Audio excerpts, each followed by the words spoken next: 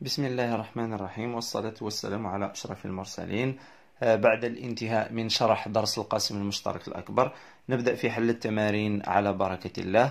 طبعا قلت لكم آه، أننا سوف نحل جميع التمارين إن شاء الله. لكن رأيت أن هذا آه، غير ضروري. لماذا غير ضروري؟ لأن الفيديو سوف يكون طويل جدا جدا وتوجد بعض التمارين سهلة جدا وبسيطة لا داعي إلى أن نطيل الوقت فيها. فقط آه، سوف أركز على التمارين التي تحتاجونها. وإذا نسيت بعض التمارين يمكنكم تذكيري كما قلت لكم رابط صفحتي على الفيسبوك دائما تجدونه أسفل الفيديو. يمكنكم إذا نسيت بعض التمارين يمكنكم تذكيري وطلب التمارين في عن طريق صفحتي على الفيسبوك. طبعا قبل أن أبدأ في شرح التمارين آه، لدي ثلاث ملاحظات فقط. الملاحظة الأولى هو أنه الملاحظة الأولى لا تخدع نفسك. ماذا أعني بكلمة لا تخدع نفسك؟ معناها إذا كنت أنت تلميذ لم تحاول في هذه التمارين لم تجتهد لم تقل لم تقم بحل التمارين فلا توجد أي فائدة من رؤية هذا الفيديو. هذه النصيحة الأولى. النصيحة الثانية لا تقم بحل جميع التمارين. لماذا توجد تمارين صعبة جدا؟ أنت الآن تريد آه، أن آه، تريد أن تبني مستواك في الرياضيات تريد أن يتحسن مستواك في الرياضيات ولذلك عليك أن تحسن مستواك تدريجيا يعني تذهب إلى الدروس تفهم الشرح جيدا تبدأ ثم تبدأ بحل التمارين البسيطة وعندما يتحسن مستواك تذهب إلى التمارين الصعبة. هذه ثاني ملاحظة. ثالث ملاحظة أقول لكم لا تقلقوا ولا تخافوا سوف أستمر معكم إن شاء الله خلال العام الدراسي. سوف نحل الكثير من التمارين بإذن الله. آه، قبل الفروض أو الاختبارات سوف أضع لكم نماذج آه، في صفحتي في الفيسبوك. تحاولون ثم نتناقش مع بعضنا البعض. لذلك لا تخافوا سوف أكون معكم دائما بإذن الله. الآن نبدأ في حل تمارين القاسم المشترك الأكبر. طبعا من كل جزء آه، اخترت لكم تمارين. آه، ماذا يعني هذا؟ مثلا نبدأ هنا في هذا الجزء. قواسم عدد طبيعي. اخترت لكم بعض التمارين. ثم نذهب إلى هذا الجزء. القاسم المشترك الأكبر. أختار لكم بعض التمارين. وكما قلت لكم يمكنكم مراسلتي عن طريق صفحتي على الفيسبوك وتختارون بأنفسكم.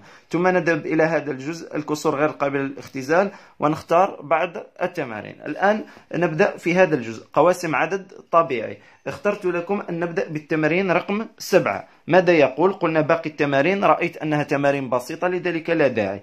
آه، التمارين رقم سبعة. ماذا يقول؟ يقول خزان ماء شكله متوازي مستطيلات ارتفاعه واحد متر وحجمه 30 متر مكعب. جد كل في كل كل الحالات الممكنة لبعدي قاعدة هذا الخزان مع العلم أنه معددان طبيعيان نبدأ. الآن متوازي المستطيلات يجب أن تعلم أن قاعدة متوازي المستطيلات شكلها مستطيل. معناها القاعدة يكون مستطيل. أنا قلت مثلا طوله A وعرضه B. لا يهم الأسماء. تستطيع أن تقول طوله X عرضه Y لا يهم. المهم ماذا يساوي حجم متوازي المستطيلات؟ تساوي طول القاعدة في عرضها في الارتفاع. هذا الحجم. الآن نعوض الطول طول القاعدة ليس لدي. طلب مني أن أجده. العرض أيضا طلب مني أن أجده. الارتفاع لدي واحد. نعوض ما دام الارتفاع. الآن A في B في واحد يساوي A في B لأننا إذا ضربنا في واحد لا يتغير شيء. معناها الحجم في هذه الحالة يساوي A في B ويساوي 30 لأنه أخبرني في التمرين أن حجم هذا الخزان 30 متر مكعب. الآن بسيطة. ما هي الأعداد التي إذا ضربتها في بعضها؟ أجد 30 بسيطة. أبدأ. أبدأ بالعرض لأن العرض يكون أصغر من الطول.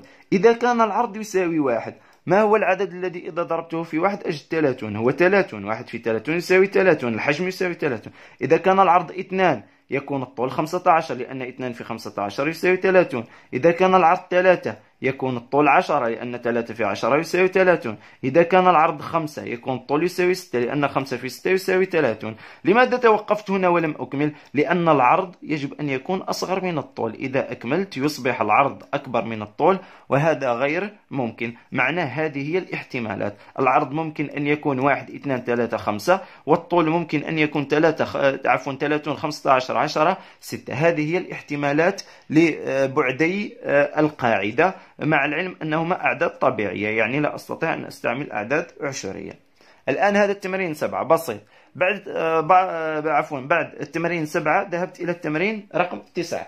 ماذا يقول التمرين رقم تسعة؟ انظروا ماذا يقول التمرين رقم تسعة. يقول التمرين رقم تسعة ما هي قيم العدد الطبيعي أ التي من أجلها يكون 24 على أ زائد 7 عددا طبيعيا؟ طبعا هذا آه، لمن تابعني في الدروس آه، الماضية قمنا بشرح هذه الأمور. كيف قلنا في الدروس الماضية؟ يقول قلنا أن المقام يكون قاسم للبسط إذا كان البسط من مضاعفات المقام. معناه هذا الأربعة وعشرون هو مضاعف لأ زائد سبعة من مضاعفاته حتى يكون عدد طبيعي طبعا. الآن ما هي قواسم 24 مضاعف ل أ زائد 7 معناها أ زائد 7 قاسم ل 24 قلناها فيما مضى ما هي قواسم ال 24 هي 1 2 3 4 6 8 12 24 يجب أن يكون أ زائد 7 هذا من قواسم ال 24 إذا لم يكن من قواسم الأربعة والعشرون عندما نقسم لن تكون النتيجة عدد طبيعي. فهمنا هذا سابقا. الآن أ زائد سبعة يجب أن يكون يساوي واحد. غير ممكن. لماذا غير ممكن؟ سبعة أضيف لها عدد. أجد عدد طبيعي. بشرط طبيعي. لا يكون سالب. طبيعي. أضيف لها حتى أجد الواحد. مستحيل سبعة أضيف لها عدد طبيعي يساوي واحد. إذا الواحد آه، الواحد لا أستطيع أن أعمل بالواحد. اثنان نفس الشيء ثلاثة نفس الشيء أربعة نفس الشيء خمسة نفس ستة عفوا نفس الشيء. الآن نبدأ العمل من ثمانية. هنا عندما وصلت إلى هنا يوجد عدد. أستطيع أن أضيف له سبعة فأتحصل على ثمانية. ما هو العدد؟ هو العدد واحد. معناها الحالة الأولى A يجب أن يساوي واحد لأن واحد زائد سبعة يساوي ثمانية وثمانية من قواسم أربعة وعشرون. الآن الحالة الثانية A زائد سبعة يساوي 12 حتى يكون A زائد 7 يساوي 12 A يساوي 5 لماذا 5 زائد 7 يساوي 12 و12 من قواسم 24 الحالة الثالثة A زائد 7 يجب أن يكون يساوي 24 إذا A يساوي 17 لأن 17 زائد 7 يساوي 24 هذا هو الحل بكل بساطة. الآن بعد التمرين 9 اخترت لكم التمرين 15 الصفحة نفس الصفحة هي الصفحة 14 ماذا يقول هذا التمرين؟ نلاحظ ماذا يقول التمرين 15 يقول أن عدد طبيعي كيفي وذي قاسم مشترك للعددين A و B حيث A يساوي N زائد 19 و B يساوي N زائد 1 احسب A ناقص B. استعمل خواص قواعد الأعداد الطبيعية لتبين أن دي من قواسم 18 عين كل الأعداد الطبيعية التي يمكن أن تكون قواسم مشتركة للعددين A و B. تمرين بسيط. هو يبدو غير بسيط يبدو تمرين معقد لكنه تمرين بسيط. ركزوا معي فقط. انظر هنا. الآن A يساوي N زائد 1 و B يساوي n زائد 19 و b يساوي n زائد 1 قال لي أحسب a ناقص b a ناقص b a هي n زائد 19 ناقص b هي n زائد 1 لماذا وضعت الأقواس؟ لأننا درسنا أننا أنه عندما تكون إشارة سالبة أمام الأقواس نغير الإشارة. نغير الإشارة. هذه كانت n كانت موجبة أصبحت سالبة. وزائد واحد كان عدد موجب أصبح عدد سالب. ماذا يصبح لدينا؟ n ناقص n يساوي صفر.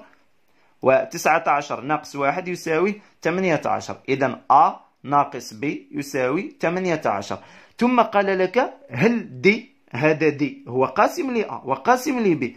هل هو قاسم ل 18 نعم قاسم ل 18 لماذا؟ لأن الخواص إذا إذا كنتم تذكرون الخواص ماذا تقول؟ تقول إذا كان لدي عدد قاسم ل A وقاسم ل B فهو قاسم ل A ناقص B وقاسم A زائد B مثال بسيط حتى تفهموا. مثلا 2 قاسم ل 14 وهو أيضا قاسم ل 8 إذا سوف يكون قاسم ل 14 ناقص 8 اللي هي 6 تلاحظون أن 2 قاسم ل 6 قاسم ل 14 وقاسم ل 8 فهو قاسم للفرق بينهما. ليس الفرق فقط أيضا المجموع. لو جمعت 14 زائد 8 أجد النتيجة يساوي 22 2 سوف يكون قاسم ل 22 هذه قاعدة. إذا كان A قاسم ل B و C فهو قاسم ل B ناقص C ول B زائد C. الآن كيف D الآن D قاسم ل A وقاسم ل B. كيف تحصلت على 18 ب A ناقص B بما أن D قاسم ل A وقاسم ل B فهو قاسم ل A ناقص B وقاسم ل A زائد B هذه أظن بسيطة من الخواص. الآن قال لي ما هي القواسم الممكنة؟ ما هي القواسم التي يمكن أن تكون مشتركة بين A و B كيف أجدها؟ أجدها من قواسم العدد 18 لماذا؟ ركزوا معي. قلنا هنا ماذا قلنا؟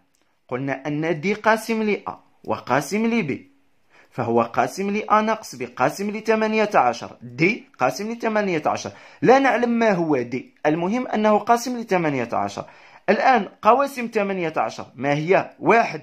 قلنا دي قاسم ل 18 لا نعلم ما هو لكنه قاسم ل 18 إذا دي يمكن أن يكون واحد يساوي واحد. يمكن أن يكون يساوي اثنان. يمكن أن يكون يساوي ثلاثة. يمكن أن يساوي ستة ويمكن أن يساوي تسعة. لماذا؟ لأن دي من قواسم 18 وهذه الأعداد من قواسم 18 معناها يمكن أن يكون هنا.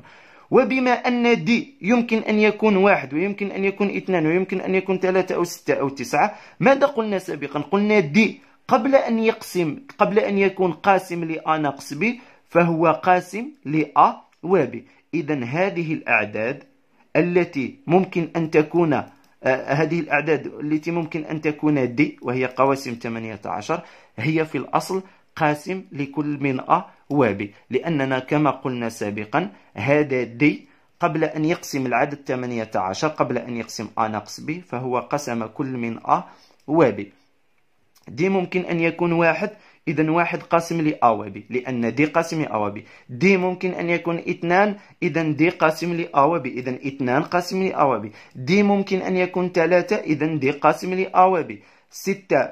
ممكن آه، دي ممكن أن يكون يساوي ستة. إذا ستة قاسم لأ وب إذا الأعداد التي من الممكن أن تكون قواسم لكل من العددين أ وب هي الأعداد واحد اثنان ثلاثة ستة وتسعة للسبب الذي ذكرته لكم. الآن التمرين ستة عشر. هو نفس الفكرة. أعطاني عدد أ n زائد 32 وعدد b n زائد 2 ماذا قال لي؟ قال لي جد الأعداد الطبيعية التي من الممكن أن تكون قواسم مشتركة لأ و b ماذا قلنا؟ قلنا إذا كان عدد يقسم B فهو يقسم A ناقص B ويقسم A زائد B ماذا فعلت أنا؟ حسبت A ناقص B A ناقص B ماذا يساوي؟ N زائد 32 ناقص N زائد 2 شرحت لكم هنا كيف نغير الإشارة تصبح N, زائد N ناقص N يساوي الصفر و 32 ناقص 2 يساوي 3 الآن هذا العدد هذه الأعداد التي نبحث عنها هي تقسيم A و B. ما دام تقسيم A و B فهي تقسيم A ناقص B. A ناقص B ماذا يساوي؟ يساوي 30 ما هي قواسم 30 واحد اثنان ثلاثة خمسة ستة عشرة خمسة عشر 30 بما أن هذه الأعداد هي قواسم A ناقص B ماذا قلنا سابقا؟ قلنا أنها قبل أن تكون من قواسم A ناقص B الذي يساوي 30 قبل أن يكون قاسم ل A ناقص B كان قاسما لأ وب لأن القاعدة تقول إذا كان يقسم أ وب فهو يقسم أ ناقص ب. لا يستطيع أن يقسم أ ناقص ب حتى يقسم أ وب بما أن هذه الأعداد قامت بقسمة أ ناقص ب الذي يساوي 30 فهي أكيد هي قواسم لكل من أ و ب. إذا نفس الأعداد نفس الأعداد التي تكون قواسم ل أ ناقص ب تكون قواسم ل أ و ب. وأيضا نفس القواسم التي تكون آه نفس القواسم التي تكون التي تقسم أ زائد ب هي نفسها قواسم ل أ و ب. الآن آه تقول يا أستاذ فهمنا لكن هناك مشكلة. لماذا دائما نستعمل أ ناقص ب؟ لماذا لم تستعمل أ زائد ب؟ انظروا لماذا لم أستعمل أ زائد ب القاعدة ماذا تقول؟ تقول إذا كان قاسم لأ وب فهو قاسم لأ ناقص ب ولأ زائد ب معناها أستطيع أن أستعمل أ ناقص ب أو أستعمل أ زائد ب لكن عندما تجرب تحسب أ ناقص ب تجد النتيجة عدد طبيعي أستطيع بما أن النتيجة عدد طبيعي أستطيع أن أجد قواسم هذا العدد الطبيعي. لكن هنا إذا حسبنا أ زائد ب انظروا ماذا وجدت النتيجة. وجدت النتيجة هي 2 2 آن زائد 34 هل تستطيع إيجاد قواسم عدد مجهول؟ بالطبع لا أستطيع. إذا كيف أستطيع إيجاد قواسم هذا العدد؟ لا أستطيع. وبما أنني لا أستطيع إيجاد قواسم A زائد B فلا أستطيع إيجاد قواسم A ناقص B. آه، عفوا A و B. لذلك أنا جربت حسبت A ناقص B وحسبت A زائد B وجدت A ناقص B عدد طبيعي وجدت A زائد B عدد آه، مجهول. هو أيضا عدد طبيعي لكنه عدد مجهول. أنا أختار المعلوم. لماذا أختار المعلوم؟ العدد المعلوم. أستطيع أن أجد قواسمه لكن العدد المجهول لا أستطيع أن أجد قواسمه. آه، لا أطيل أكثر من هكذا. بالتوفيق للجميع. والسلام عليكم ورحمة الله وبركاته.